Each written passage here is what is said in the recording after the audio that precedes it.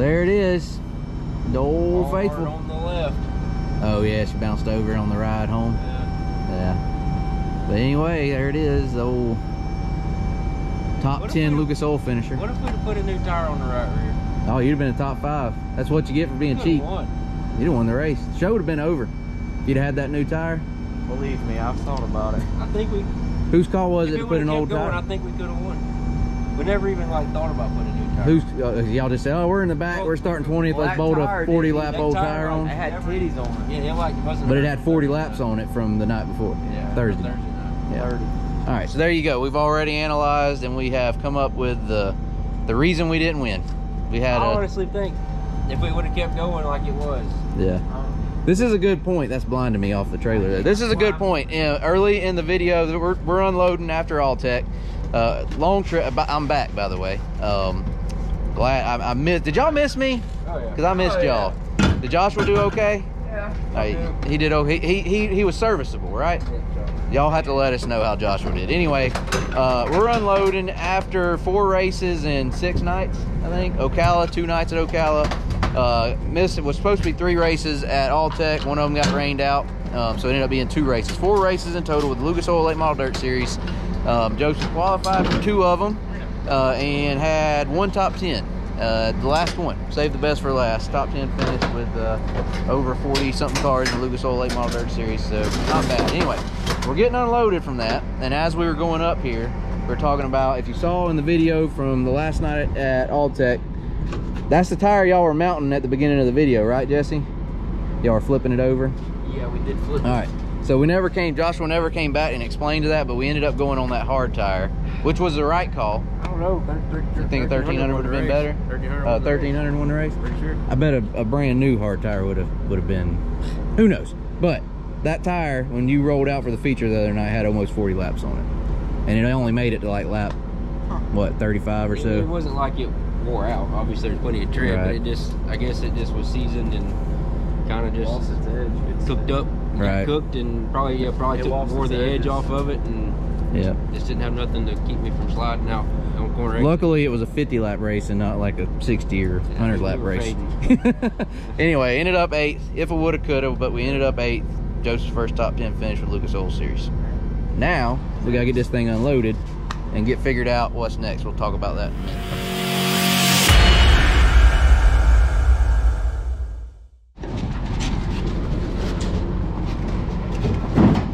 Wait, you hung up over. there. Oh yeah, we're good now. Yeah, you're right. So our lift gate, hey, starter works. Our lift gate uh, didn't leak. We're good. Good. No more leaking lift gate. That's a plus.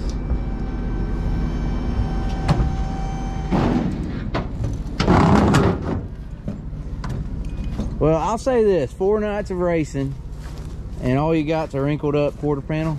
That don't mean that we ain't straight about. Oh well, yeah, I forgot about that. It's kind of wrinkled over here a little Oh. bit. It could have come home looking a lot worse. Put it that Oh, way. yeah. You know what I'm saying? All the same body panels though. We didn't have to change any, right? There you go. Who needs a four wheeler? Just keep pushing. Okay. I think we might need a four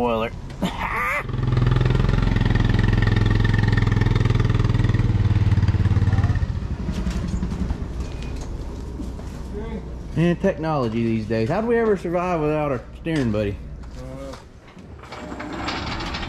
All right, so goal is to get this one washed today, cleaned up from the trip. Then we got a lot of work to do over on that one in there and this one over here. Are we still trying to take two cars to Southern? Is that the plan? Keep on with that. We keep on trying. So we, we haven't ruled it out yet, is what you're saying.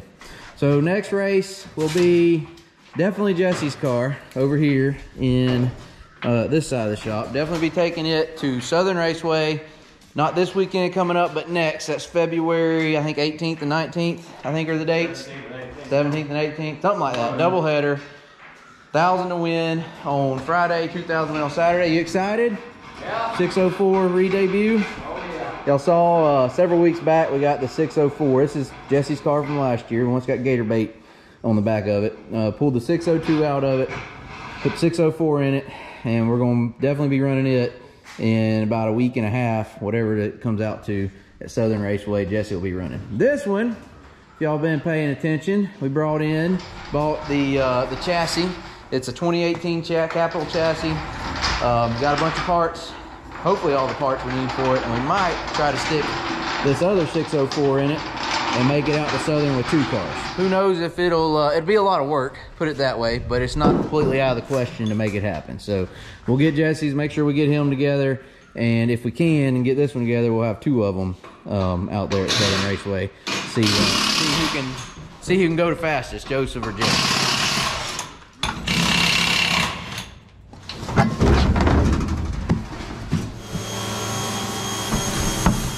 So this is the right rear we were just uh, talking about. Both features at Alltech were run on this tire. Ran uh, 38 laps on it on the Thursday night feature, flipped it over, and then ran the entire 50 lap feature on it um, Saturday night. So when it gave up, or when Joseph started sliding back, whether it was a tire or not, that tire had at that point 70 laps on it. That's a lot to ask out of a right rear tire. And I guess that's just a lesson learned on our part. Even if you're starting the back of a race, it makes sense. Let's just stick an old tire on. We might have been uh, would have been better off probably with a new tire.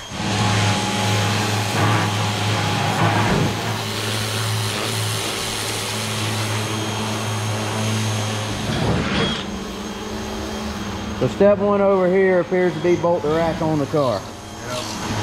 Is this thing fresh? No, No? No? kind of something that old boy had that something we come up with. Supposed to be good though. Supposed to be good. Yeah. but not fresh. But but it's not our spare rack. We No. still got a spare one. That's Right. I guess is the good thing, or what we're trying to do with this car is bolt it together, but not use all our spare parts. Still have spare parts, something like that. I'm sure we'll wind up using some of it, but Is this the uh, same uh, yeah, servo? Yeah.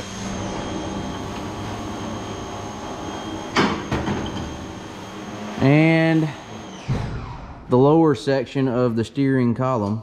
You got the other, the just the collapsible part. Floorboard. Right, so that'll hook to the rack down there. And then somewhere, there it is, right there, is our collapsible steering shaft that connects on this end. And the steering wheel goes, quick disconnect right there. Hope y'all can see what I'm pointing to down there, but it goes on there on the spine. Then you can adjust it in and out, get it where you want it. Oh yeah. There you go.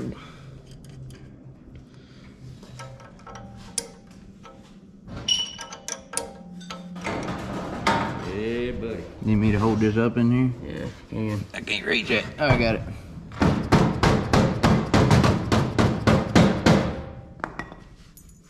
Got it. Sounded solid to you, didn't it? Yeah, it sounded right. I mean, you the one driving it. it comes off. The steering shaft comes off in your hand. We know why. Yeah.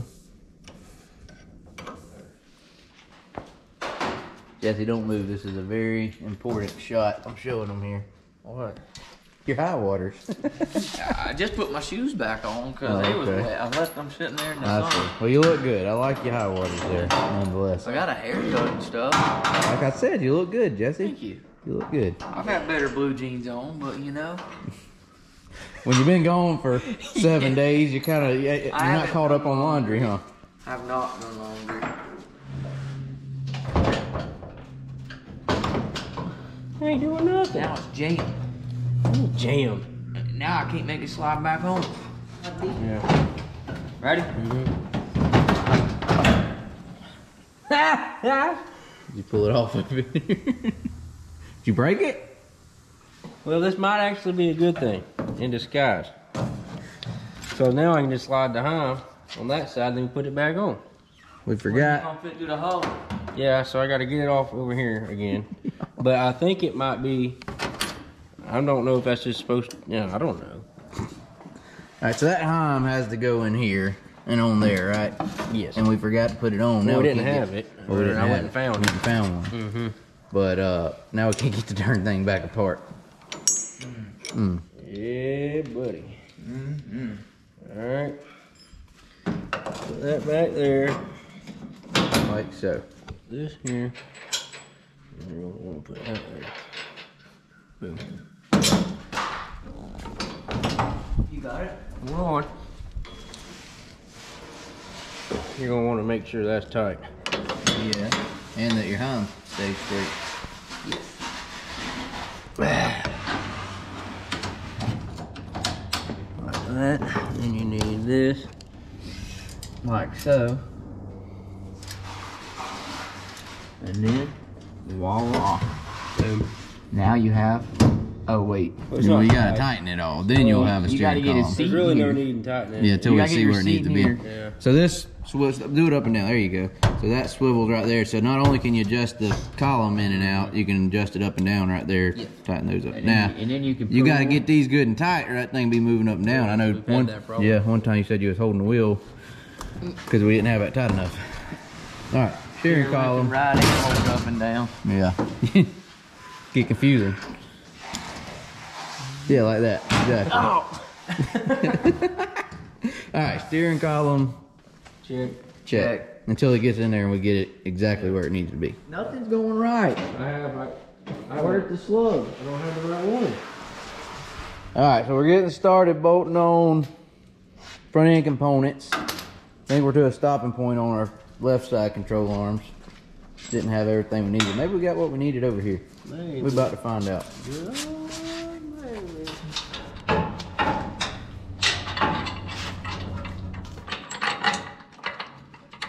You know, if I got a screwdriver. Got it. Let's see what it looks like. You need to. There you go. Pull it back. Boom! Threads ain't no good, but bolts in. Oh, thread it with a bu- with a nut. Rethread with a nut. Yeah. Cross center knot, tight, oh, tight. Oh yeah. Now what you need here, I It said you need to be it is bolt. me what I need. The shim goes on top. Hey Jesse, now's your chance to not bolt something on right, Yeah, I'm so to slow him down. Hey, I gotta slow him down a little bit. That's what I'm This is my competition. That goes on Where's top. that little shim? I got it. It goes in between. It goes in between. Right I there. know. Okay. like that. And then that little thing. Well, listen, I'm bolting it on there. Here we go.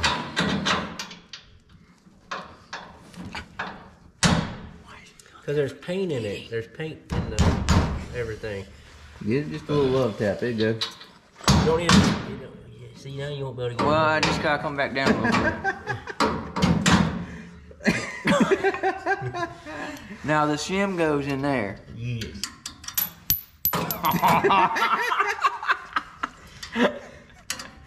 Stop. I just freaking in my finger. Stupid. Man, I'd have had this thing on there 30 minutes. Look, bring me some of the A arm here. It ain't close. Something ain't right.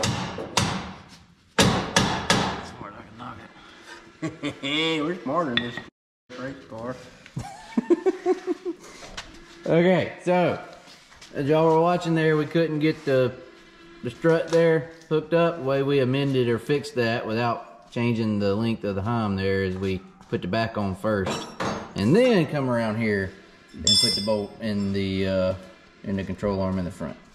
Joseph also went and grabbed a spare and bolted it on instead of the new one over there for some reason. I don't want, you know. Don't want to be bolting new parts on. When else are you gonna bolt it on? Oh yeah, that went in there, didn't it? That's in there. Whole thing's no up, ain't it? What we're looking at, we're trying to make sure we're clear right here. We let it down a little bit. There's a notch right here. We gotta make sure this clears it and goes up in there. You get on this side, you can To see get, better. to get all that travel. I have them travels. I have all the travel. Watch Ready? this. Oh yeah. Boom. Boom. Just hitting back here like. Yep. so. That's that means you went as far as you can go Yeah. when it when it hits the frame. If it's way up here, like, okay, there's your, where your top shock mounts. Mm-hmm. So I mean, yeah, that's far as it'll, it'll, it won't even, it won't ever go that far. No, you're gonna be bouncing off the ground anyway if you go that far. You can't go that far. Yeah. One of the things you can't do. Quite impo- almost impossible. Mm-hmm. How you skin a knuckle? Tech tip Technical of the tip day. of the day. Mm-hmm. Anytime you're going to have a nut or a bolt that is against the side of the Heim, Yeah. you're see how that when we tighten that up. So you're going to want to take a file and file off the point of the inside of that nut right there, so that you're that way you don't uh, disrupt the travel of the Heim.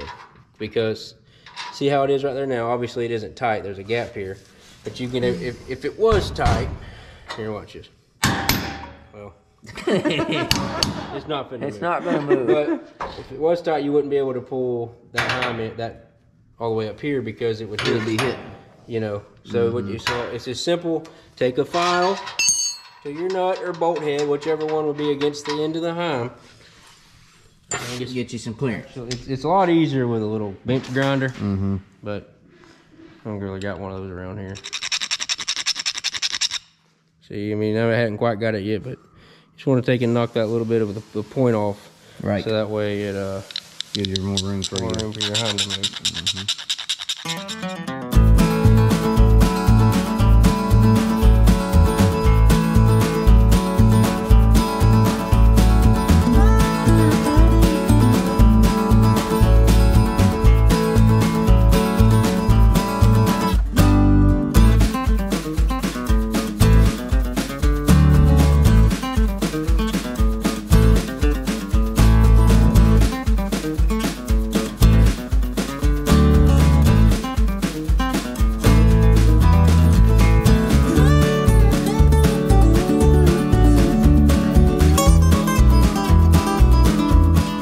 Okay, Joseph got the uh, the right front is on. Tie rod, control arm, spindle. Just need a hub. We were missing some things over here on the left front. We can't put it together yet, so we only at a standstill there. And the shear, shearing staff, the steering shaft is in there. Okay. Okay. A little bit of headway. Yeah. And Jordan's got us cleaned up out here. Tires washed. Poor old Jesse's car. When you gonna go to work? Yeah. What'd you do today? I, I just hope he's really getting that thing right Yeah. because things have changed since the last time we were on the track together. yeah. Hopefully, no, neither of you's lapping the other one this time. Uh, all right, so we stuck this. I mentioned earlier we already got this 604 stuck in here. This is what Jesse ran in the 602 division. Pulled it out. It's over there. 604's in it, and we haven't done anything. We worked on this thing, and then we pressed pause, and we got ready to go down to Ocala and uh, Alltech. So now we gotta get back to work on it. First thing we gotta do, we're gonna crank this thing up because it's been sitting here a couple weeks now. And uh, y'all know how we tell you all this time, it's the 85. You don't want to let, set up, let it set up. So we're gonna fire it up and let it run a minute. Oh yeah, what you want me to do? You gonna spin it? Oh yeah, go ahead.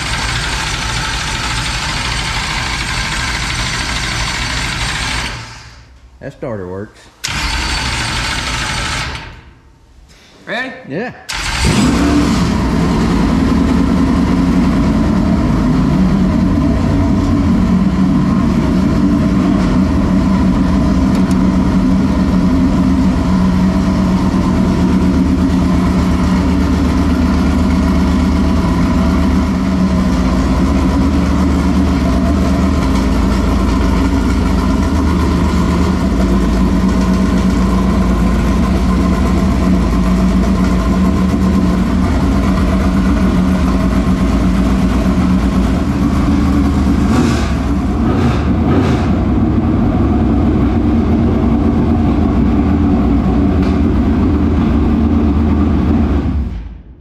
So, uh, what's going on over here? You're gonna have to have a throttle rod. And Well, we springs. robbed my springs for the supercar. No, imagine that. Joseph taking stuff off my car. Imagine that. You're gonna need those back. I'm gonna need them back. right, that thing runs. Gonna need them throttle springs back. That thing runs. Obviously, we gotta get a body on it, uh, accelerator rod and, and springs on it. And one other thing we're gonna do with this thing, we're going to pull these uh, hubs and rotors and all back off, and we're gonna make them floating. Some uh, Stock Tech floating rotors, like we put on Joseph's car um, a few weeks back. And for all the smoking, that was the Yeah, it was the headers. the Yeah. WD-40 or what we put on uh, tra- uh, transmission fluid. transmission fluid. That's how you keep your show and filled headers looking looking nice. it keeps the The rust, rust off, off. And then when you crank it up though, it smokes like crazy, burning it off. Anyway, this one will be ready. We'll get to work on it. It'll be ready for week and a half from now, February 18th and 19th at Southern. Disson, on the other hand, you got some work to do. Me and Jesse, we're pretty good over here. we ain't this got is what this is our project, Yeah, right? so you and Jordan, y'all better be getting to work, all I know. Anyway, that's, um, stay tuned. We're going to try our best to have two of them out there. That's a week and a half away. Not this weekend coming up, but the next out at Southern Raceway. Uh, we did get this one cleaned up. It's next event. Senoia, right? With this one? I think, yeah, in March. We're putting this one up until March. It'll be our next super late model race uh, up at Senoia Raceway.